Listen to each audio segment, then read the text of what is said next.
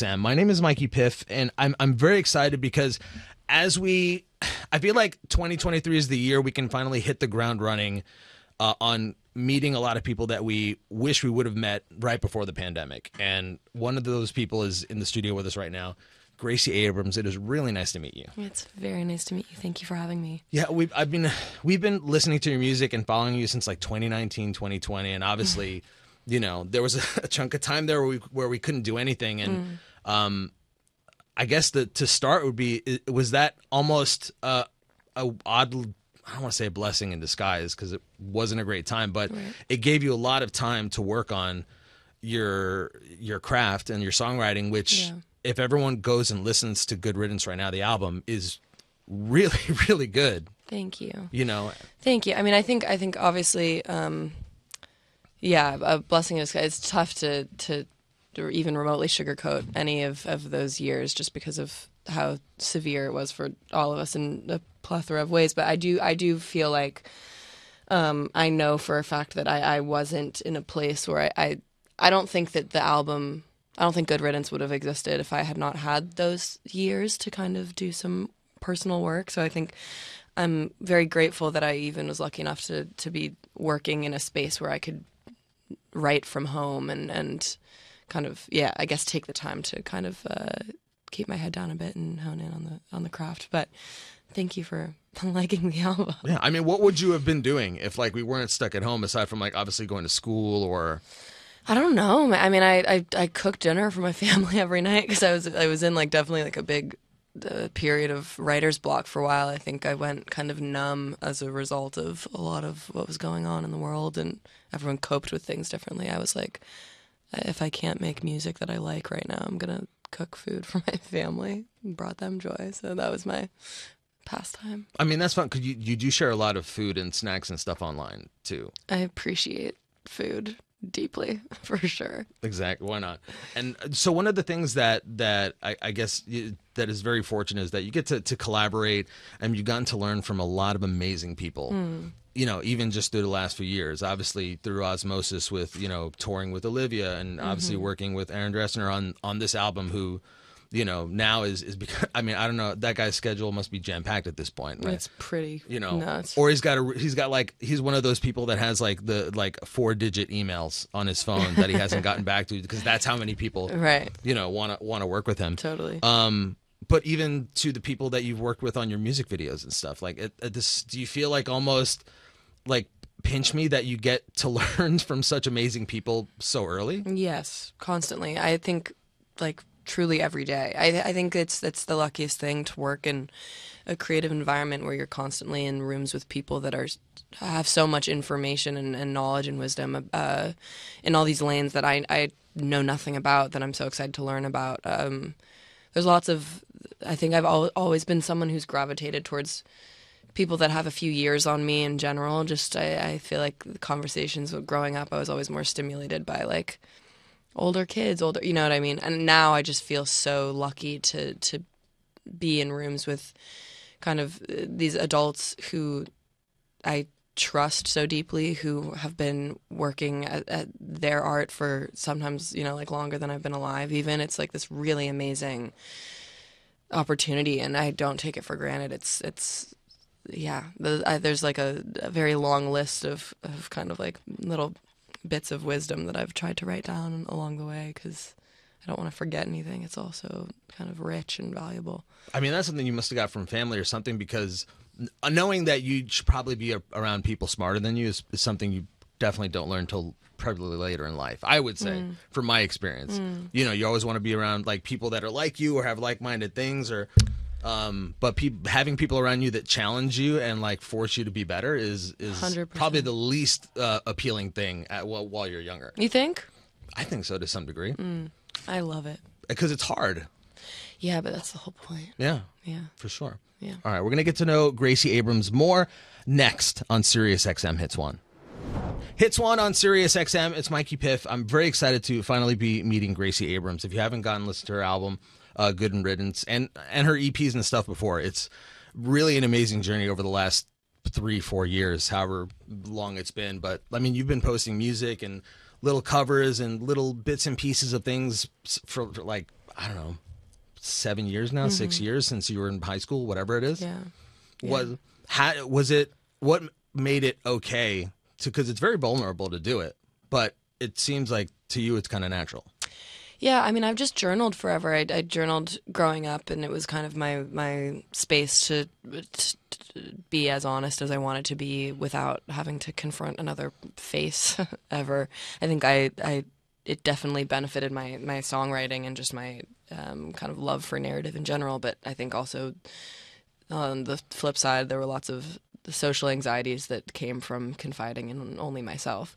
Um, but I I think you know performing live that scared me to death. I, it was never something I wanted to do growing up, and you know I grew up with the internet and. That's a weird thing in general, but I, I think when I, you know, got an Instagram account, it was kind of like this natural progression having posted little things on SoundCloud before I was like allowed to have social media. I was like the last person in my grade to like be allowed to be on, you know, Instagram or whatever. And it was this natural, yeah, natural progression sort of, I guess, of like I'm writing songs in my room every second I'm in there and I would kind of instinctively just post 15 second clips of, of songs that I'd write and then often like leave them. It was like this like uh yeah, this reactive songwriting sometimes. What? So why? I guess the the the um and come maybe an easier question would be why music? Because I mean, you've been surrounded by creative people in all different types of fields your whole life. You know, literally since you came out of the womb. Mm-hmm. What was it about music specifically that just was your identity? It just, I don't know how you decide. I don't think, I mean, it's not a choice, you know what I mean? I think like when you're drawn to something, it's like a, for me, it was just like a first love thing. I, I felt so, um, like the older I got, just like I remember in elementary school, I started being aware that my mom was playing Joni Mitchell in the mornings on weekends all the time, and I, that was always true. But then there were moments like when I was like eight years old where I was like listening to to River by Joni Mitchell, and I was like, oh, that actually like I I feel like I am I'm I'm hearing her words now, and I'm the, I'm internalizing that, and it hit me differently.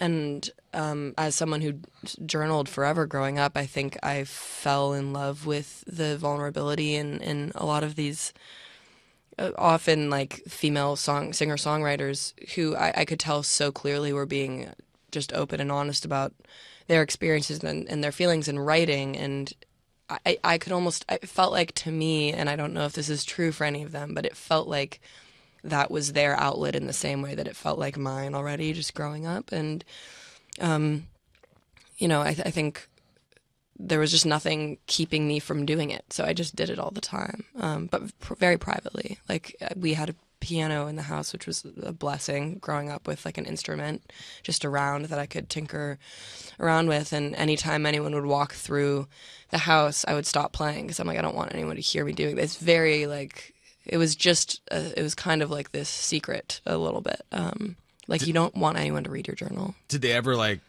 stand like in the door where you couldn't see them just to like listen? You know, like probably but it was like i don't know why. It was definitely like awful. You know what i mean? Growing Well, up it- that's like a family thing where like they like uh, it's it's it is endearing. It's it's beautiful to see someone kind of find something that they love and and see it from the beginning and then I would assume like friends, family, whoever now they see what you're doing and the sense of pride is like it's got to be bursting.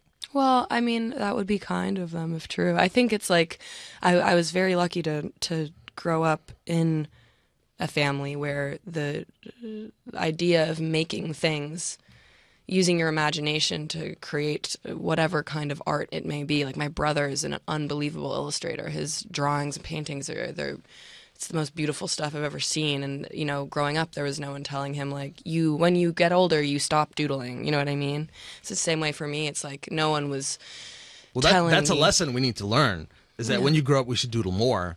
totally. I think it's like to be an adult and to be able to have a rampant imagination and, and to let that manifest in whatever ways it does. I think that's the, the largest blessing, um, kind of gift in the creative realm that I feel like I have adopted from my family. So So tell us, um, I mean, I mean, this is it's a it's a large question, but working with Aaron Dessner, who, Mm-hmm. you know, a lot of people, might, some people might know from the National, obviously. Right. Uh, a lot of people know him from working with Taylor Swift on Folklore and Evermore. Um, and now you getting to work with him on Good Riddance. What again? Not a softball question, but also not a thing to answer quickly. Like learning from him, someone who's so experienced and who so many people uh, admire. Um, you know, going to his magical studio in like a, you know, how people describe like the the forest and just Yep. how it is. At one point, one, do you pinch yourself, and then do you leave there going like, "Wow, I got so much better," or I learned Immediately. so much, or immediately with every conversation. I mean, Aaron is now one of my best friends. He's like he knows everything about me. You know, the the the process of making this album wasn't just we're going to the studio to write now. It was we're spending every waking hour, you know, together, having conversations that would then weave their way into the songs that we made. And I think it's why the album is as kind of direct and um, kind of almost straight to the point as it is in in many ways. And he is. I have been a fan of the National for well over a decade now. Like that, he, the National was a, a band that growing up I always felt drawn to. I think because there's this like melancholy kind of darkness, but also a hopeful uh, feeling under and under everything that they've made together, and and that really resonated with me as a kid, and and I think so to. The pinch me moment was instant when I when I met Aaron when I started working with him, but it was really like uh, the the our relationship and dynamic working together is unlike anything I've known with anybody else, and I think for both of us it's very particular, very specific, and um, you know he, his his wisdom as an artist, uh, producer, writer is is equal to that. Uh, you know, as a as a person and a friend, he's the greatest listener I've ever known. He's so genuinely there for the people that he loves and cares for and, and works with. And I think all of the music that comes out of Long Pond or any studio that he's kind of walked into is a testament to how rare of a person he is. Like there's, I could t- ramble about Aaron for literal years, but um, I think the the gist of it is that um, the kind of generosity that he has as a collaborator allows for the artists he works with to dig deep within themselves and be as open uh, and kind of raw as they are capable of being or want to be. And I went into the studio to make this album with a lot of kind of big questions and formative you know early adulthood life decisions bubbling. And um, we kind of documented that throughout this album and I felt 110% safe doing so the whole time and um, so I just love him. He's he there's yeah I've never met anyone like him before. It's it's cool to some of the words that you use immediately evoke like anybody who is probably really good at their art is a good listener but is also generous. Like whether it's like a scene partner or uh, you know the rest of your band the way you play off each other it has to be that that give and take and that's super clear on this album. But the, a lot of the stuff that you um you know we're, we're going to talk about it more because I also want to talk about uh, this is what it feels like and just uh, all the other songs because I mean it's hard. We just we can just rattle them all down because they're all you know I don't want to gas you up. But you know again everyone listening like just go spend time with it and listen to it like two three times because sometimes like as a guy I'll listen to mel- melody and stuff first that that old caricature Right. and then you dig into the lyrics and the other stuff and we're going to talk more with Gracie Abrams next on Hits One. Hits One on Sirius XM. I'm Mikey Piff. Super excited to uh, be making a new friend in Gracie Abrams. Uh, very excited to, to see you live for the first time. Even more excited, obviously, for an entire stadium of people to be singing your songs when you open for Taylor Swift, which might you know make you poop your pants, maybe. You know, 100% planning on it that so j- exactly. So if you want to throw diapers on stage just for her, do it now. Um, so the song that we're that we're playing right now, the album's called "Good Riddance." Is is this is what it feels like? And without digging into what it's about, like tell us about cr- at least how you created this one, because again, you know, Aaron Dessner, Long Pond Studios, upstate New York, magical forest, magical place. What what kind of was the right recipe for this thing to just to pour out? For this is what it feels like. Mm-hmm. Well, that EP was pre-Aaron in a way. We had a couple. Sorry, songs. wait a minute. I ah, song title. That's my mess up. So I, I, worry. I, mean, I meant now? I know it won't work. I know it won't work. No worries.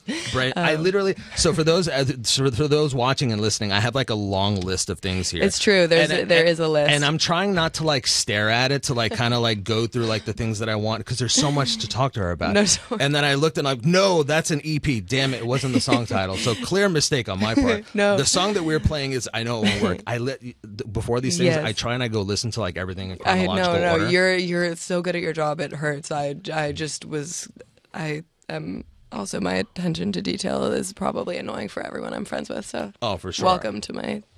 Literally everyone circle. tried to walk into my office today while I was like re-listening to everything like just and I like the way I do it is I'll like sit back in the chair and like stare at the ceiling or stare at the wall like I'm on another planet Mm. Yeah, and yeah, everyone yeah. comes in and probably thinks I'm like a wacko or something and I'm just Story like no I'm just soaking it in but I know Anyway. it won't work. yeah I know, I know it won't work. work. Yeah, I know it won't work. Um, how'd that come about? Um, that was one of the harder songs to write, not in terms of like the time it took or anything, but it, it's just a pretty brutal. Um, for me, it, it, was tough to admit these feelings that I were, was kind of like putting down on paper for the first time, you know, before having said any of it kind of out loud to anyone else. You know, and, and there's a complete freedom in the studio with Aaron to say truly anything and everything that comes to mind. Like the I'm the least filtered, I would say, around him and, and that I think serves the songs um, in terms of detail and depth in that regard, but also can physically like it's aching to to confront feelings that you maybe tried to ignore or push down for a while. So that that song, um, Well, I, I mean, the, I, Yeah. Mm. I wrote words down that I, that kind of like described everything to me because the whole album's like a lot of push and pull, right? Yeah. Mm-hmm. So in my head, and tell me if I'm wrong, I'm just pulling stuff out of my butt, but like the songs can be simultaneously soft but also strong, and also show a lot of growth and learning, but also a lot of knowledge, all at the same time. Mm, um, which to me is just like, you know, again, when you listen to to a song like "I Know It Won't Work," you know, it's it's the whole like, you know, you want to be naive and be like, well, you know, I but let's give it one more shot, or Right. then you're like, but the but your brain, it's like the you know the whole brain versus the heart thing. Yeah, I think that the whole album it kind of came from a, a place of having previously di- uh, almost like dissociated from feelings to cope or to try to appeal to other people or whatever. And and and the album is tr- is me trying to get better at honoring myself and and and being honest with myself about what I know to be true and not shutting off the kind of like oh, fire alarms internally that are really telling you something. I think is like young women, just women, eh, we were raised almost to like have that feeling and be like, oh no, but I'm probably wrong or uh, that's crazy, right? And it, uh, I think I'm trying to get to a place as I hope we all do where we are following our gut more, uh, listening to these gut reactions, and even if they're hard, especially if they're hard, following through with, with what you know to be your truth, um, even if that means disappointing other people sometimes. So that's this song. Yeah. Yeah. Uh, I mean, it's also okay to make mistakes. 'cause Fully. a- you know, Yeah. that- that's another thing these days. It's like I feel like everyone feels the need to be perfect or something's gonna happen. I'm like, mess up. It's you know, that's Yeah. that's all you can do, and then you learn. Hits one on Sirius XM. I'm Mikey Piffin. Again, super excited that uh, I've gotten the chance to spend some time with Gracie Abrams. I know you're super busy. You're on tour right now. Um, like we said before, you're going to be opening for Taylor as well, uh, starting in May ish, right? I think. April. April? literally, so soon. Yeah, I don't. I listen. I still can't believe it's March. Yeah, I don't believe anything is real. Yeah, time is just like I, after the last three years, I just don't. I don't even know how to comprehend it at this yeah, point. you and me both. Um, we did ask on Twitter for some fan questions because obviously your fans, you know, they love you so much and they they connect with what you've written because, like you know, like you've said, it's this. You're in your formative years and you're growing, and at the same time, you're really, really smart. And at the same time, you know, we all make the decisions we make when we're younger at the same time, and it's learning about all that stuff.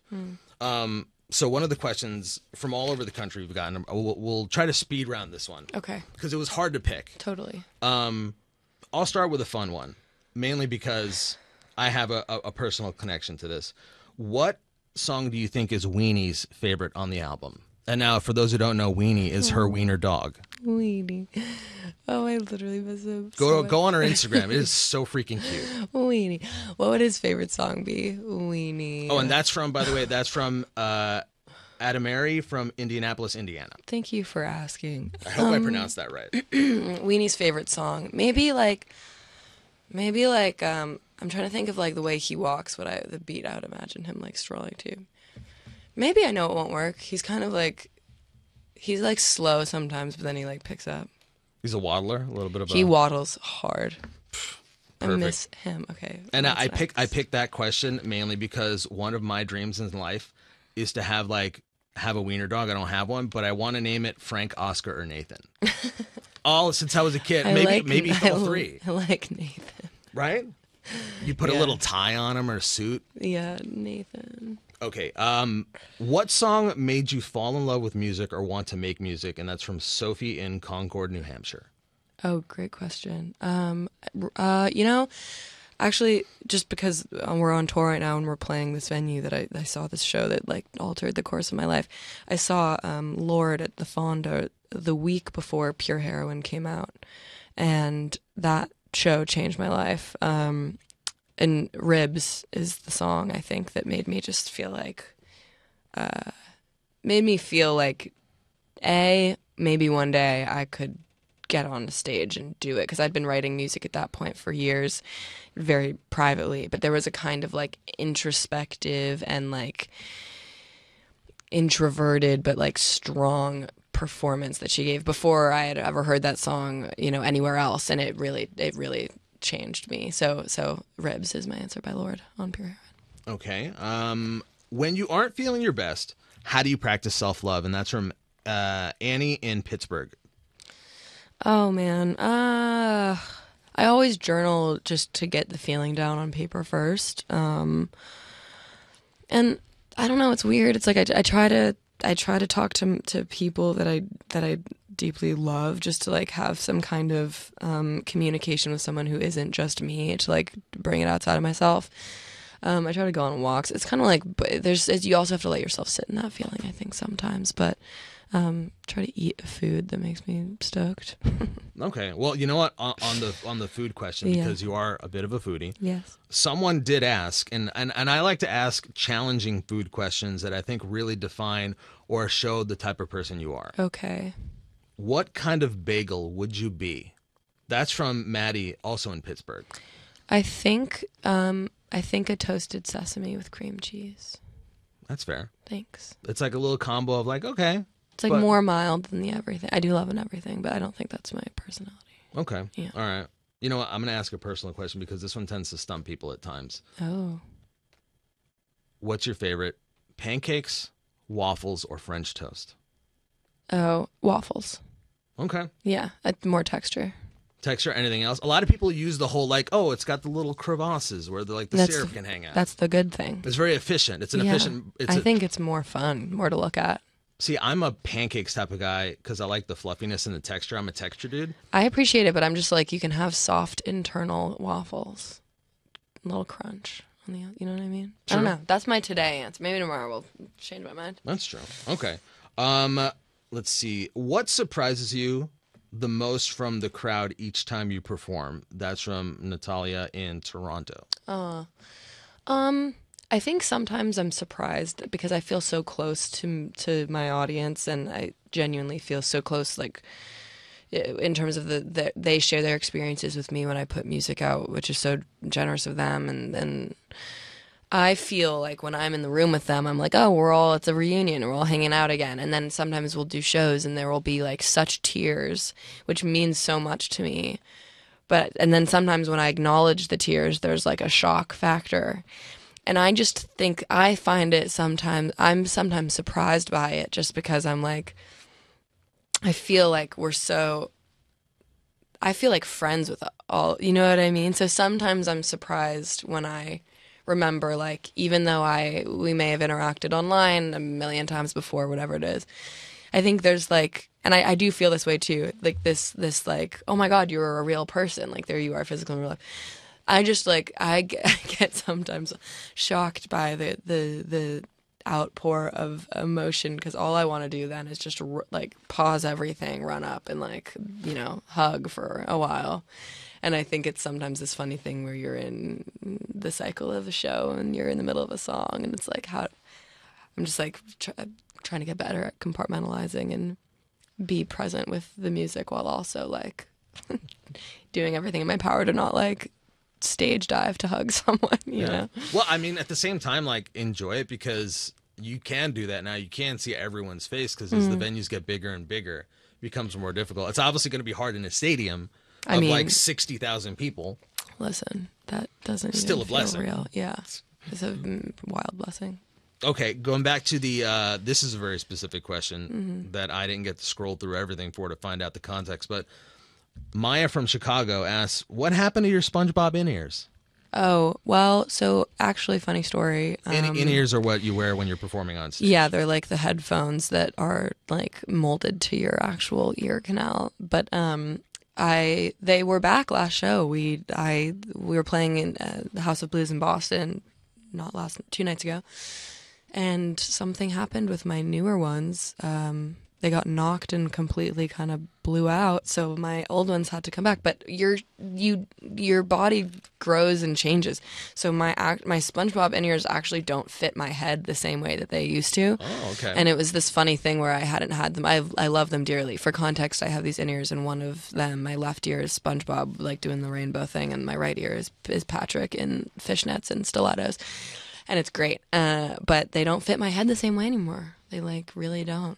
But I I did get to have them back for a brief moment last show. There we go. It's just like the, the theme of the album, continued growth.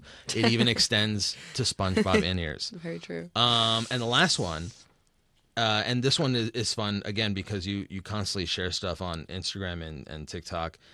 If you could add one more song to Good Riddance, what song would it be? That's from B from Los Angeles. Oh, I can't answer that because they can't know. It's songs they don't know, and it's songs that they will know. They will know them. Well, that's what I figured. I, looked at that. and I was like, you know what? I'm going to ask it anyway. But I figure it's be like it's going to be a song that's going to be on another album anyway. Maybe. It will come out. Okay. Yeah. But but but but you know when I said the one, like you have it in your head. I have a few. Okay. Yeah. Awesome. Mm-hmm. Well, I mean, God, we should we could keep talking forever, but mm-hmm. if you haven't seen her on tour, go see her on tour now. Obviously, she's going to be opening for Taylor later this summer. Is there? I don't know. You're going to keep touring more later this year, next year, or are you going to Yeah. go make another album? Like, what's the plan? All of the above. Yeah, we're. I mean, we're touring through uh, pretty much the end of the year, and then, um, yeah, with Taylor all summer, which is a crazy sentence, and then uh, Europe, UK tour in the fall, and then. Um, I mean, yeah, we made Good Riddance while we were touring last year, and that's kind of my plan again. So I've been writing, and I'm I'm just grateful that I'm allowed to do any of this at all. So thank you to everyone who has ever listened to my music because you know they're all the reason why. Hmm. I guess I guess I should probably ask. This is probably you know, how, how did Taylor ask you to go on tour? Is it because it's always either really unceremonious, like you're in a room together, it's like, hey, you want to go like go travel the world with me? Like, okay, cool. Or it's like a really cool text message or email where it's like, hey, I would really love you to do this. Oh God! I mean, you know, as we all know, because she is queen of the world and everyone is her biggest fan. But um, no one is better at uh, secret keeping and kind of these Easter egg things and all of it. So um, it was very buttoned up. You know, heard through my agents. And the second that um, I did, I, I texted her immediately, and within I think actually maybe maybe ten whole seconds, um, she responded being. That's So awesome. I, I, I lost my mind. I still don't. I really don't know how to talk about it because until we're actually there, I will not believe that it's a real thing that um, I'm allowed to do. But I there will never be enough thank yous in the world to to express how grateful I. I mean, I've I've I like she is the artist I grew up loving and admiring more than anything. So it's a trip and a half, but hopefully, yeah, hopefully I don't pee my pants. We'll find out. if not, again, throw diapers on stage. Yeah, and it'll be please th- throw them. They No, actually don't. will. Don't Don't throw- don't don't throw throw diapers on anything on stage. Please. Thank you. No huggies. All right. Well, I mean, gosh, do we do we miss anything? Um, did we I miss? feel like we keep talking for forever, I but know. I'm like, did we miss any? No. I mean, did you miss anything? I'm lit- I literally could just go down. like, list how's your list things. looking? I mean, I, there's still stuff we could talk about, like some favorite bands and stuff. Like I love that you covered the 1975 because Ugh, I'm love. I'm obsessed with them right now. Still, Yeah. for whatever reason, I'm just I re-obsessed. But yeah, they just keep doing it better and better and better. exactly. All right. Well, you know what? It'll just leave us more stuff for next time. Absolutely. So, Gracie Abrams, thanks for hanging out. Thanks for Thank swinging by. And don't, don't forget, go check out the album Good Riddance. Listen to it like 50 billion times over. and, uh, you know, by the end of it, you'll uh, love her as much as we all do here. Well, thank you so much for having me. I'm, I'm a big fan of your show and very grateful for your support. So thank you. Thank you.